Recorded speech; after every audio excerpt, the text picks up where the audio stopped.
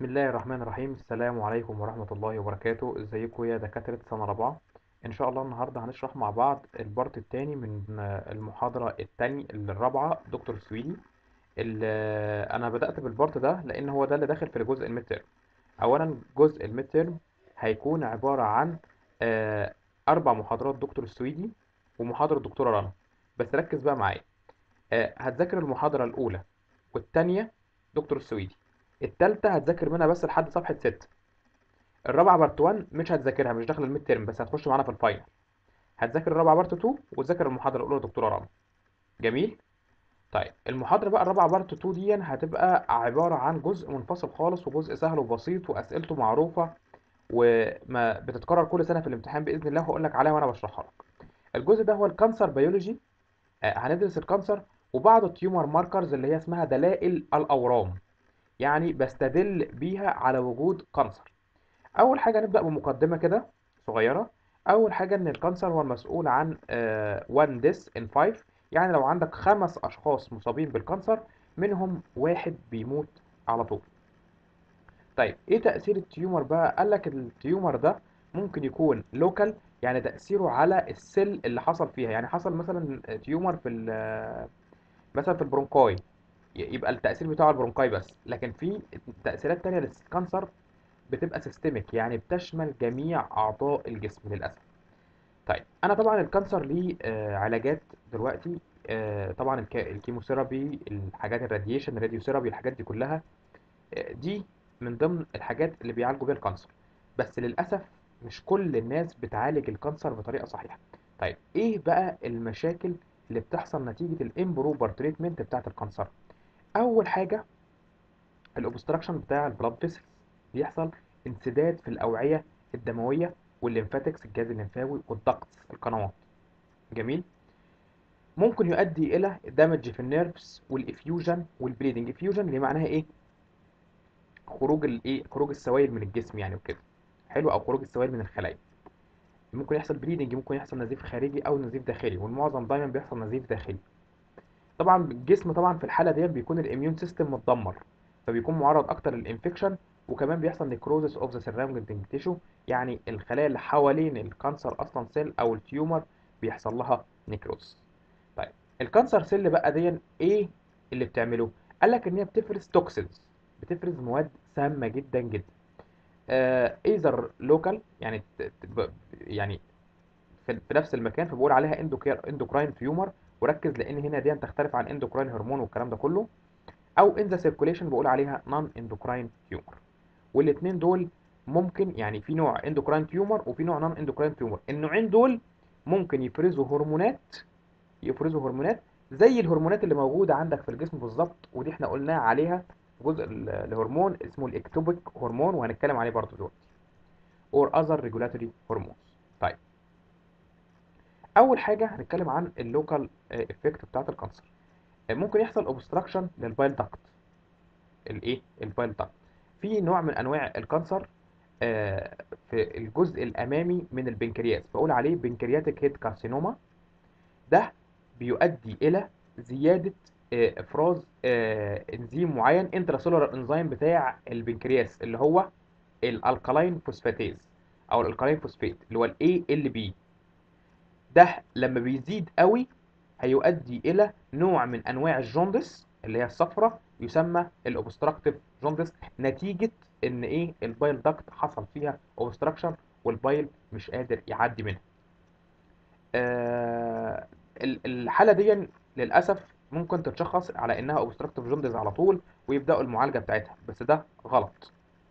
تمام؟ بس آه ممكن نفهم بس الحتة دي كويس قوي.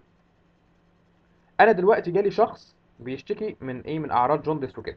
حلو. المفروض أخلي بالي من حتة إن هو إيه؟ إن هو ممكن يكون سببه cancer ممكن يكون سببه tumor أدى إلى لل bile duct obstruction وممكن يكون سبب عادي خالص آه، في آه، مثلا حصوات مثلا في ال bile duct وكده هي اللي عملت ال obstruction ده. تمام؟ هي دي معنى الكلمة دي أو الجملة دي. This represents the first sign wrong but doesn't mean presence of underlying malignancy. يعني مش لازم السبب إن هو يكون malignancy ممكن يكون في سبب تاني هو اللي أدى لايه لل obstructive jaundice طيب ال metabolic metabolic إيه؟ metabolic tumor in liver يعني في بعض ال tumors بتأثر على ال metabolism في ال liver. طيب ده بيؤدي إلى إيه؟ بيؤدي إلى زيادة ال ALP برضه ال alkaline phosphatase وال gamma glutamyl transferase وطبعا ده بيشمل آه اللي هو التدمير في خلايا الكبد وتؤدي إلى زيادة اللي هو ال intracellular enzymes بتاعتها أو ال liver enzymes اللي هم المشهورين جدا اللي هم ال ALT وال AST طيب آه في حاجة اسمها metastatic tumor metastatic tumor يعني إيه metastatic يعني متحرك يعني بينتشر أهو. spread to an important site يعني بيروح لأماكن مهمة جدا جدا في الجسم. ده ممكن يؤدي إلى complete system failure يعني ما شاء الله يوصل للأعضاء الجسم كلها. حلو؟ قال لك إن هو مثلا لو حصل destruction لل adrenal cortex نتيجة tumor معين. هيؤدي إلى مشاكل في الالدوستيرون المية هت... الدنيا هتبوظ اللي هو الصوديوم والايه وال water reabsorption cortisol secretion كورتيزول هرمون الكورتيزول ده هرمون ال stress ال stress هرمون. ده ده ده حاجة حيوية جدا جدا في الجسم. حلو. and fatal consequences تمام؟ طيب. في بقى بعض أنواع ال tumor بيكون فيها معدل النمو رهيب سريع جدا جدا جدا. بقول عليه rapid tumor growth rapid tumor growth والحتة دي بقى أهو أول حتة تركز عليها بتيجي في الامتحان. وهقول لك بتيجي في إيه دلوقتي. قال لك إن ده اللي هو ال rapid tumor growth ده أو ال tumor اللي بي بيحصل له جروس بطريقة سريعة جدا بيؤدي إلى تغيرات في ال biochemistry في الإيه؟ في الجسم. زي في حالة سرطان الدم الليوكيميا وسرطان سرطان الإيه؟ الليمفوما. طيب ده بقى إيه اللي بيحصل بقى نتيجة الورم ده؟ قال لك إن الورم ده بي إيه؟ بي بي بي بيجروس أو بي بينمو بسرعة جدا. حلو. قال لك ده هيؤدي إلى زيادة اليوريا. إشمعنى اليوريا بالذات؟ قال لك ما هو دلوقتي عمال بياخد بروتين بروتين بروتين ويكسر بروتين عشان يكون nucleic acid والحاجات دي كلها. الحاجات دي نواتج التكسير بتاعتها هي الأمونيا والأمونيا ناتج التكسير بتاعه أو ناتج اللي هو ال turnover بتاعه هو اليوريا وبالتالي هيؤدي إلى زيادة اليوريا نتيجة ال rapid cell turnover ركز في الكلمة دي قوي. cell turnover هنا مهم لأن هو هنا بيحصل تجديد للخلايا بسرعة جدا جدا عشان يواكب الايه ال growth بتاع ال tumor ده. الحتة بقى اللي بتيجي في الامتحان أهي. lactate dehydrogenase برضو بيزيد. ليه بقى ال lactate dehydrogenase بيزيد؟ قال لك لأن في الحالة دي إن ال tumor بيعتمد في الحصول على الطاقة على ال anaerobic glycolysis ركز anaerobic glycolysis ما بيعتمدش على ال aerobic glycolysis بيعتمد على ال anaerobic glycolysis يعني بياخد له 2 ATP بس هو راجل إيه؟ راجل نزيه شوية. طيب ال anaerobic glycolysis ده لو أنتوا كنتوا فاكرين من bio 2 أنا كنت في ال glycolysis العادي بشتغل لحد ما أوصل لل pyruvate يعني بكسر الجلوكوز لحد ما أوصل لل pyruvate وفي. في عدم وجود الأكسجين ال... ال pyruvate ده في وجود ال lactate dehydrogenase إنزيم اللي هو LDH يتحول لإيه؟ لل lactate. طبعا ده هيزيد تكوين ال lactic acid فيعمل lactic acidosis. يبقى في الحالة دي أنا عندي rapid cell turnover والخلية محتاجة طاقة كتير هتعمل إيه؟ هتستهلك anaerobic glycolysis كتير فده هيؤدي إلى زيادة ال lactate dehydrogenase والحتة دي جت في امتحان السنة اللي قبل اللي فاتت تقريبا. حلو؟ إن هنا زيادة ال lactate dehydrogenase ده آه بيكون نتيجة إيه؟ نتيجة ال high cell turnover وكمان نتيجة ال anaerobic glycolysis جميل؟ نكمل. طيب في بقى note مهمة وال والدكتور بيطلب دي ساعات في ال short notes لو الامتحان فيه short notes لو الامتحان فيه short notes ممكن يحصل renal failure في ال malignancy يعني في tumors معينة ممكن تؤدي إلى renal failure فشل كلوي. ليه؟ قال لك نتيجة ال obstruction of urinary tract حصل مشاكل في الإيه؟ في ال urinary tract في زيادة في الكالسيوم في ال blood زيادة في ال uric acid برضه في ال blood وكمان ال Bence Jones بروتين. جميل؟ طيب في بقى ممكن يحصل nephrotoxicity نتيجة ال toxins اللي بيفرزها ال tumor. يبقى هنا ممكن يقول لك اتكلم لي عن ال renal failure in malignancy هتقول له بيحصل نتيجة ال obstruction في ال urinary tract وزياده بعض العناصر في في ال blood زي ال hypercal زي الكالسيوم وال uric acid وال Bence Jones بروتين وبتنزل في ال urine تعملي proteinuria وكمان ال nephrotoxicity نتيجة ال cytotoxic change جميل؟ طيب في حاجة بقى اسمها ال cancer cachexia. cancer cachexia ال cancer cachexia ده يا دكاترة ده اللي إحنا بنشوفه دايما في في اللي هي ال hallmark بتاع المريض ال cancer. إيه هي ال hallmark دايما تلاقيه رفيع خالص. يعني جسمه كله نحيف. وده إحنا بنشوفه في الإعلانات بتاعت اللي هي المستشفيات بتاعت ال cancer زي 57 3 57 والحاجات دي كلها. دايما بنلاقي اللي هو شعر الجسم كله مش موجود. حلو بيطير يعني وكده. وكمان تحس إن هو على طول كده هزيل كده نحيف كده. دي اسمها ال cancer cachexia آه it means characteristic wasting. يعني wasting اللي هو بي إيه بيفقد اللي هو العضلات بتاعته. حلو؟ seen in most cancer patient. إيه ال في ال features بتاعتها؟ anorexia lethargy آه اللي هو على طول خملان يعني ضعيف كده muscle weakness ضعف العضلات انيميا وإيه؟ و pyrexia يعني درجة الحرارة بتاعته بتبقى مرتفعة شوية. طيب بتحصل ليه؟ بتحصل ليه قال لك نتيجة ال imbalance between dietary caloric intake and body energy requirement. انت دلوقتي خلية ال cancer دي كأنها بيت تاني جوه الجسم. البيت التاني ده جوه الجسم ده وأنا عايز إيه؟ عايز طاقة وراخر يعني بدل ما كان الشخص بياخد الأكل بتاعه يكفيه هو لنفسه وخلاص لا ده الأكل ده هيتوزع على بيتين. وبالتالي في الحالة دي الجسم مش بياخد الطاقة اللي تكفيه فهيحصل imbalance ما بين ال calorie intake وال body energy requirement طيب ده بيحصل بقى نتيجة إيه؟ ال factors بقى اللي بتحصل. ال inadequate food intake دايما مريض ال cancer ما بيش عارف ياكل كويس أصلا لأن دايما بيبقى. عنده مشاكل في الإيه؟ في البلع والهضم والحاجات دي كلها.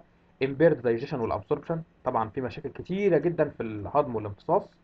competition طبعا ال- الحاجة الأساسية أصلا بالنسبة لي اللي هو التنافس على الإيه؟ على مصدر الطاقة بين خلية ال cancer وخلية الإيه؟ الخلية السليمة. In general, uh, growing tumor has high metabolic rate. طبعا بيزيد ال metabolic rate uh, if large لو هو عالي زي ال rapid tumor growth it will deprive the body of its nutrient. يعني بتحرم الجسم تماما من ال nutrient بتاعتها. وبالتالي cancer patient has increased energy requirement. ده استنتاج لكل الكلام اللي فات كله. طيب. الحتة اللي قلت لك عليها بقى اللي هي ال ectopic hormone production ectopic يعني بيتفرز من مكان غير مكان. بمعنى إيه؟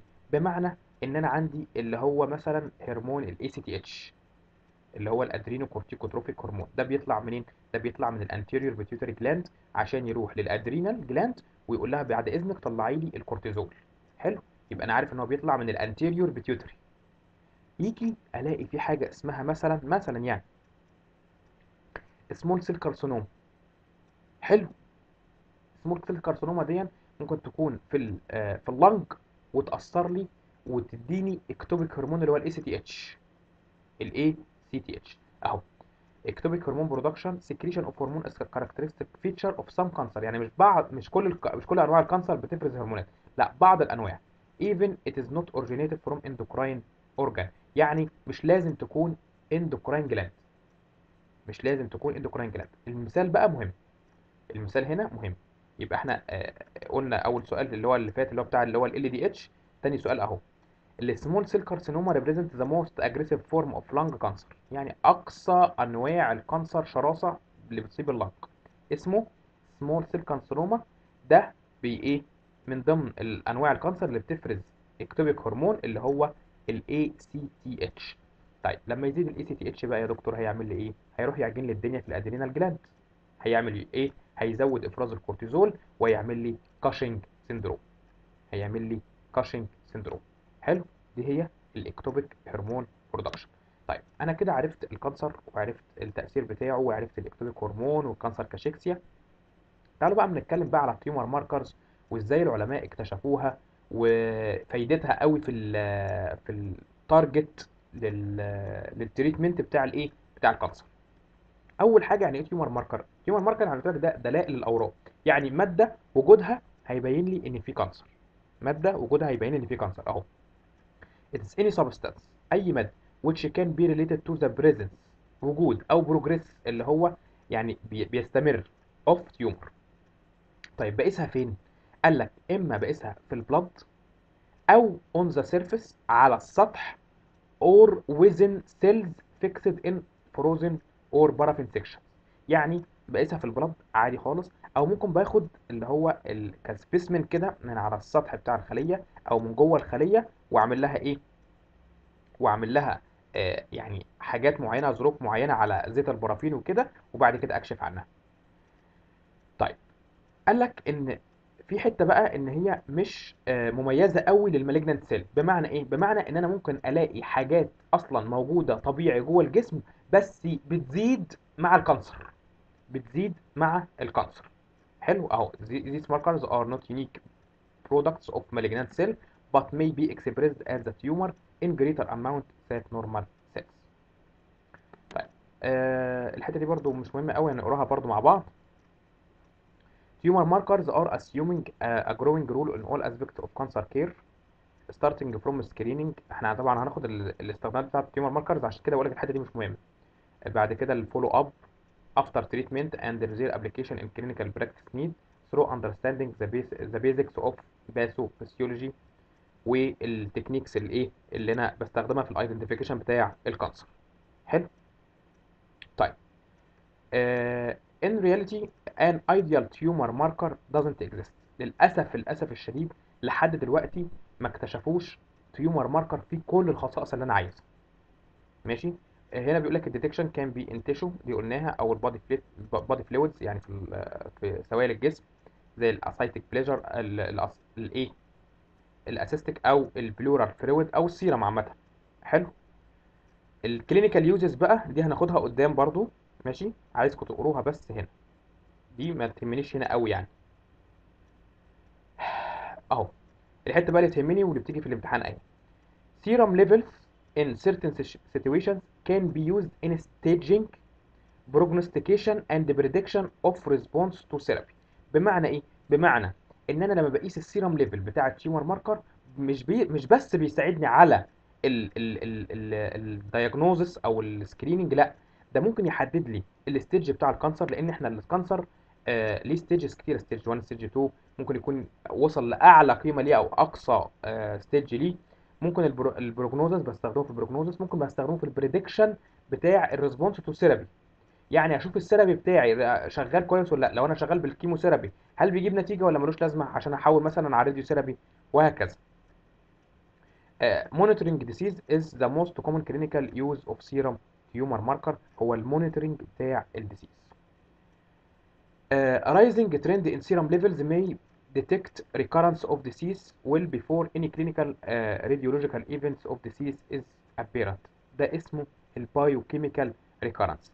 في مصطلح اللي هو ال biochemical recurrence يا دكاترة معناه إيه؟ معناه إن أنا إن أنا ممكن أستدل بزيادة بعض ال levels بتاعت ال tumor markers دي على هل هيحصل recurrence لل cancer ولا لأ. دي اسمها إيه؟ biochemical recurrence. دي الحتة المهمة قوي قوي قوي اللي تهمني ال biochemical recurrence إن أنا بستدل على ال recurrence بتاع ال cancer عن طريق بعض ال serum levels من ال tumor markers. آه الحتة دي مش مهمة بتاعت اللي هي ال sampling دي ما تهمنيش قوي Uh, today there are literally hundreds of tumor markers although their clinical utility or application of course different issue. Tumor markers include a variety of substances. ليها أنواع كتير قوي cell surface antigen ممكن تكون antigen ممكن تكون بروتين ممكن تكون انزيم ممكن تكون هرمون ممكن oncofetal antigen ممكن receptor أو ال oncogenes and their products طيب. عشان بقى الزيادة المهولة في في ال tumor markers وكده قال لك إن هم وسعوا التعريفات بتاعتها. إزاي؟ قال لك أنا ممكن أعرفه على إن أي substance موجودة أو بتتفرز بال tumor أو عن طريق ال host اللي هو الخليه اللي حصل فيها tumor in response to إيه to tumor that can be used to differentiate tumor from normal tissue أو ممكن نقول عليها a process أو يعني molecule جزيء أو آه، عمليه أو substance that altered quantitatively أو qualitatively in precancers أو cancer condition بمعنى إيه بمعنى ممكن أقول عليها ان هي جزيء أو ماده بتتغير quantitatively يعني كميا. يعني كميتها بتزيد أو بتقل لأن في بعض التيومر بتقلل كميات بعض الحاجات في الجسم. أو qualitatively يعني كيفي يعني تغير في شكلها تغير في لونها الحاجات دي كلها. ماشي؟ في ال precancerous and cancer condition يعني في الخلية العادية كانت ليها حاجة معينة أو ليها كمية معينة لا اتغيرت بقى في الايه في ال cancer condition the alteration being detectable by assay. يعني أنا هقدر ألاحظ الايه التغيير ده عن طريق إن أنا أعمل assay ال molecular basis بقى بتاعت ال tumor markers. genetic alteration in tumor cell affect directly or indirectly pattern of tumor cell or surrounding tissue. الحقيقة الحاجات دي طبعا مش مش مهمة قوي ما تهمنيش.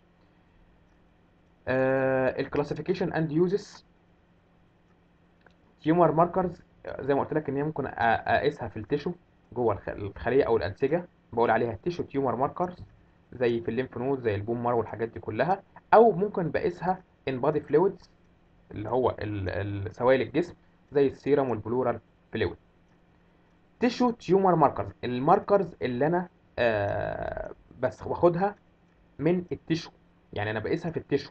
قال لك دي هي الأساس عندي دي بتكون prime importance as a diagnostic pathologist يعني الراجل بتاع ال pathology الراجل بتاع ال pathology اللي هو علم الأمراض ذات نفسه يهمه قوي اللي هو بياخد اللي هو ال tissue biopsy ويكشف عن ال tumor marker ده اللي هو ال tissue tumor marker يبقى هو important مين؟ لل pathologist. لكن المريض بقى ذات نفسه وال... وال... والدكتور قال لك لا. أنا بحتاج ال serological اللي هو بقيسه في ال serum tumor marker وده المهم للإيه؟ لل clinician many classification scheme دي ما تهمنيش برضه خالص. في بقى آه بعض ال benign condition ممكن ألاقيها مصاحب ليها زيادة في ال tumor markers بمعنى إيه؟ بمعنى أنا ممكن ألاقي حاجة آه مرض عادي ظاهر فيه زيادة في ال tumor marker ده وبالتالي لازم أركز قوي قوي قوي في الحتة دي. يعني أنا شاكك معلش يا دكاترة لأن كنت فصلت الفيديو.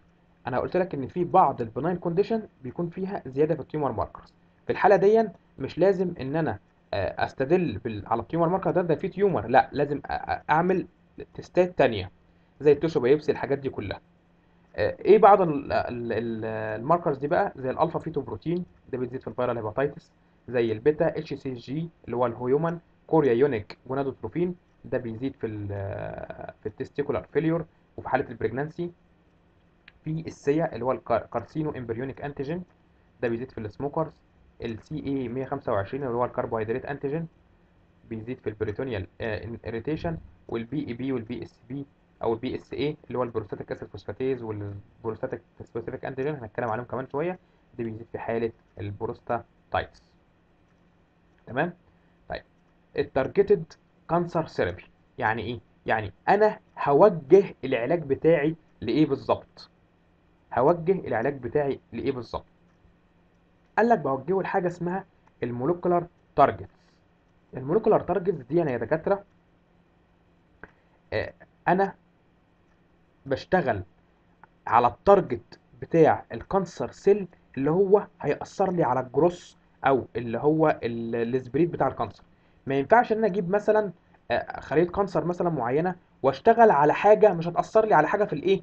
في, في النمو بتاعها ولا في الانتشار ولا الحاجات دي كلها لا يبقى أنا ما عملتش حاجة. أنا عايز حاجة حيوية جدا بقول عليها ال molecular targets أهو. target cancer therapy are drugs or other substance بتعمل إيه بقى؟ block the growth and spread of cancer بتمنع الايه ال ال ال ال النمو وال spread اللي هو الانتشار بتاع ال cancer by interfering with specific molecules اسمها ال molecular targets دي بتشمل ال growth وال progression وال spread of cancer وبالتالي ممكن أقول على ال targeted cancer therapy أكتر من اسم. والاسامي دي حفظ زي اسمك لأن دي بيجي عليها سؤال مهم جدا جدا في الامتحان. اسمها molecularly targeted target target drugs أو therapies أو بقول عليها اسم جه في امتحان السنة اللي فاتت أو السنة اللي قبل اللي فاتت اللي هو precision medicine precision medicine اللي هو العلاج الدقيق العلاج الدقيق. تمام؟ آه بيقول لك إن بعض ال drugs دي approved بال FDA والحاجات دي كلها. باقي الكلام ده كله مش مهم أنا يهمني الحتة دي بس تعرف إن ال target cancer therapy ليها أسامي تانية ركز لي جدا على ال precision medicine طيب are uh, targets for targeted cancer therapies identified يعني أنا هم عرفوا إزاي إن الحتة دي بتأثر على ال growth بتاع ال cancer بتأثر على ال spread بتاعه بتأثر على ال progression نشوف. قال لك إن عملية ال development دي عمليه كانت مرهقة جدا بالنسبة للعلماء أصلا. وإيه؟ وهم ركزوا قوي قوي زي ما قلت لك على الحاجات اللي هي الحيوية بالنسبة لخلايا ال cancer عشان كده قال لك إن ال targeted therapies دي برضو ممكن تسمى the product of rational drug design drug design قال لك اكتشفوها إزاي؟ قال لك إن عن طريق إن هم بي إيه؟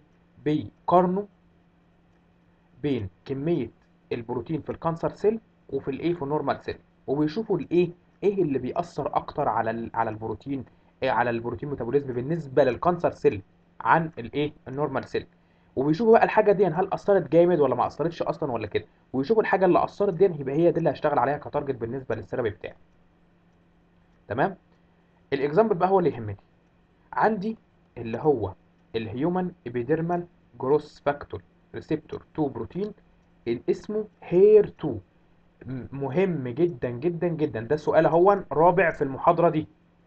سؤال رابع في المحاضرة دي اللي هو ال HER 2 ال HER 2 ده يا دكاترة ده بيحصل له expression على ال surface بتاع بعض أنواع ال cancer آه هم اشتغلوا عليه ك target therapy أو precision medicine اكتشفوا إيه بقى؟ قال لك بعض أنواع ال drugs زي التراتيزيو ماب اللي هو الهير 16 ده approved إن هو بيشتغل على ال HER 2 في بعض أنواع ال breast cancer وبعض أنواع ال stomach cancer. تمام؟ يبقى لما يسألك في الامتحان اديني مثال على ال molecular targets therapy أو drugs هتقول له اللي هو الهير 16 ممكن يسألك على البروتين بقى اللي بيشتغل عليه هتقول ال HER 2 هيشتغل على إيه؟ اللي هو ال HER هيشتغل ال drug بتاعي هيشتغل على ال HER 2 ال HER 2 ده دكاترة بيحصل له expression فين؟ بعض أنواع ال cancer زي ال breast cancer وال stomach cancer. ركز جدا على المثال ال HER 2 تمام؟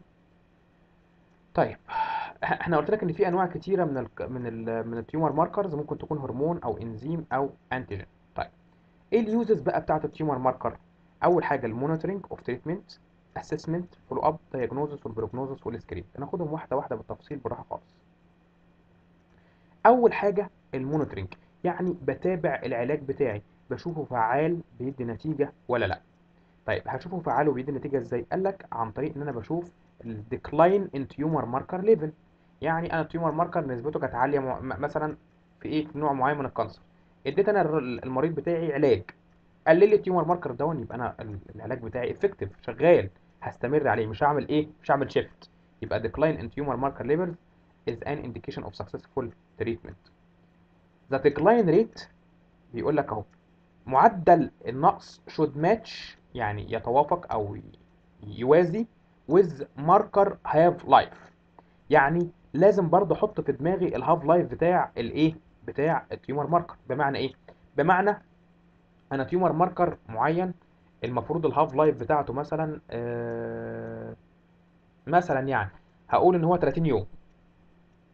هنقول إن هو 30 يوم. فالمفروض إن بعد 30 يوم ألاقي أصلا ال tumor marker ده ال level بتاعه قل فما أجيش أقيس مثلا نسبة ال tumor marker دون بعد ال half life بتاعته. ما هو طبيعي اللي هي قليلة. يبقى هقول العلاج بتاعي فعال لا يبقى أنا لازم أعمل correlation أعمل علاقة ما بين ال decline rate وال marker half life. بيقول لك slower than expected fall may refer uh, refer to decreased elimination of tumor. يعني معناها إن لو ال level بتاع ال tumor marker ما قلش قوي معناها إن إيه؟ إن أنا العلاج بتاعي مش effective ومش هي مش اللي هو بيقلل قوي أو ال elimination بتاع ال tumor بيكون قليل.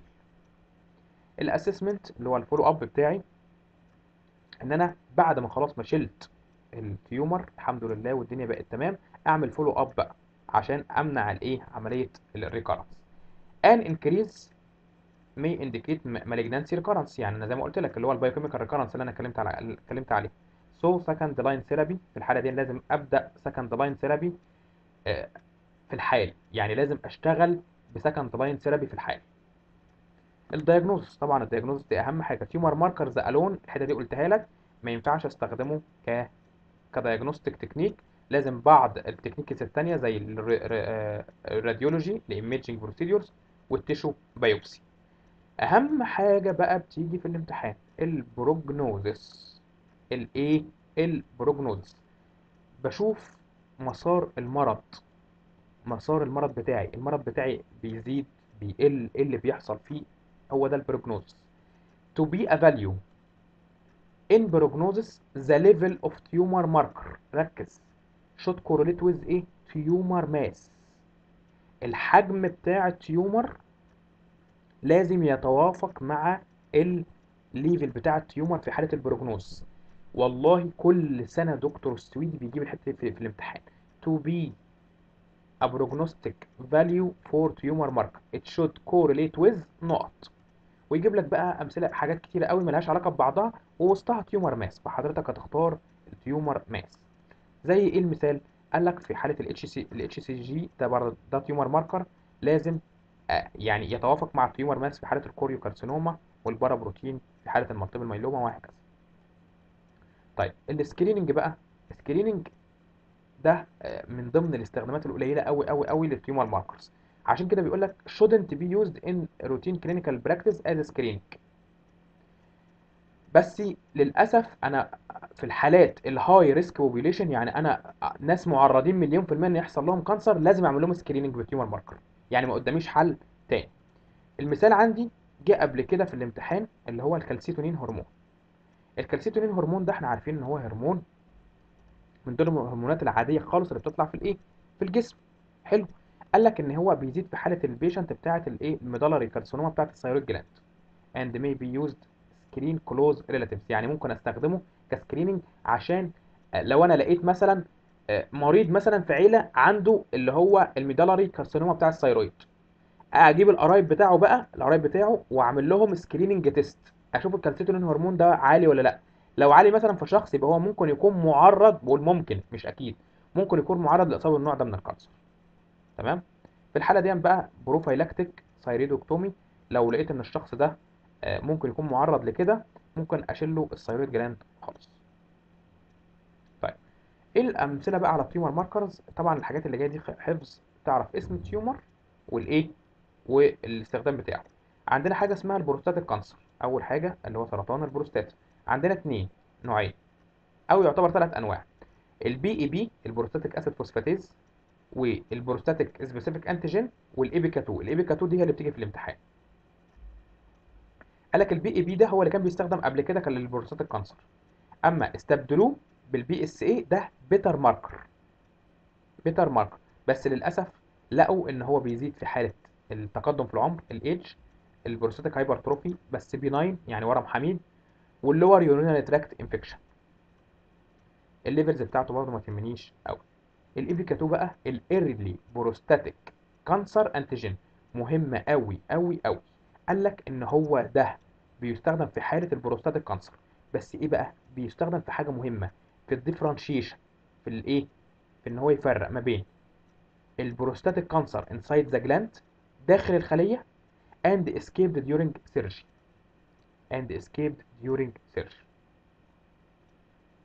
السيا اللي هو اللي هو carcinoembryonic antigen. ده بيست بي بي بيستخدم في ال monitoring بتاع ال non endocrine tumor بتاع ال GIT وخاصة ال colorectal cancer. وده آه مش specific أو مش sensitive ك screening test عندنا بقى آخر حاجة ال CA 125 ده لل ovarian cancer وال uterus cancer. ال CA 15.3 لل breast cancer.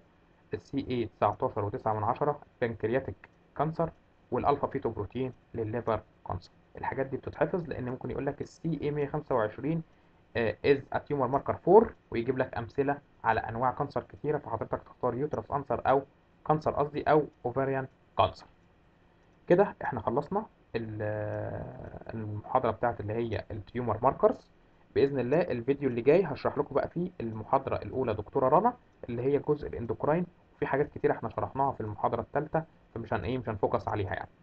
شكرا يا دكاترة والسلام عليكم ورحمة الله وبركاته.